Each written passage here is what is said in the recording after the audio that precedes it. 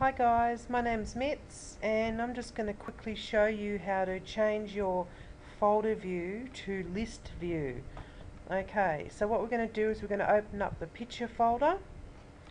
Okay, I'm just going to show you a couple of things with it. Um, okay, we've got this little um, icon here. It says change your view and just wait one second, we'll just make that bigger. Right, change your view and it's got a choice here large icons, medium icons, small icons, list, details, tiles, content. Okay, so basically just check out which one you want.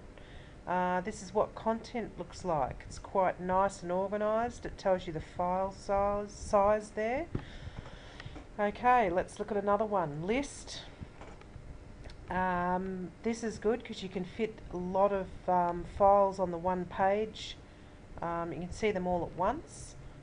Um, the basic one that I stick to is large icons because I can actually see what it is, the pictures. Okay, and the extra large icons, well, that's great, um, but when you've got a lot of folders, you'll be scrolling down a long way just to find something. Okay, it's great for people that can't see, so let's try small icons.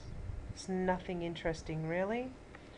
Um, that's basically just like a list, so details, yep, same thing. It's not very interesting except for it's got the date there and stuff like that.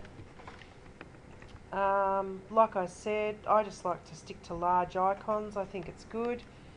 Um, even if you go into uh, the desktop and stuff like that, they're quite large. Um, if you go into documents, say, let's find the documents folder, there it is there.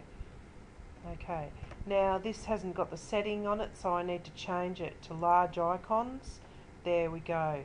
Now these are just folders obviously, um, not very exciting, but still at least you can see that there's only five of them. Um, Alright, thanks for watching.